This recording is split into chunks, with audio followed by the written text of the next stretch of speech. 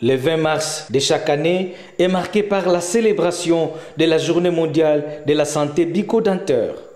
La fondation Dr Melanda, la seule structure de la ville portuaire de Matadi, qui a marqué cette célébration par des consultations gratuites des maladies de la bouche.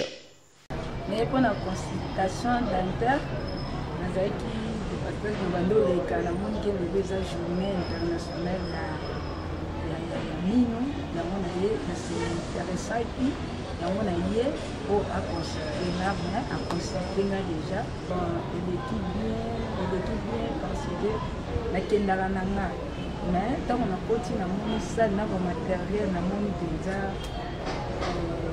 innovation bamateriel parce que balongolaka déjà ligne mais ntango nakoti place nakendaki ndenge namonaki biloko ezalaki na innovation sepeli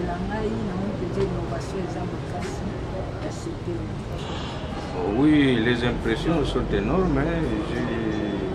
J'ai découvert à moi quelques, quelques points ou aspects que, que j'imaginais. Après la consultation, j'ai compris qu'il y a un peu d'anomalie. Parfois, que je sens ou que je ne sens même pas, mais il y a un peu des anomalies qui pourra être traité parce qu'il y a même prévu une radio pour ça, pour essayer un peu de, de donner un peu de précision par rapport à ce qu'on a constaté. Ou d'ailleurs ce que je suis venu découvrir ici, malade ou non malade, en tout cas, tout le monde devrait se rendre régulièrement dans une cabinet dentaire pour euh, se faire soigner, se faire consulter. Donc vraiment, c'est une initiative. Il faudrait qu'il y ait un peu large sensibilisation pour ça, pour que les gens comprennent et s'y rendent aussi pour euh, s'assurer d'une bonne santé. Parce que je vois là-bas, parmi vos affiches, une bouche heureuse, c'est un corps heureux.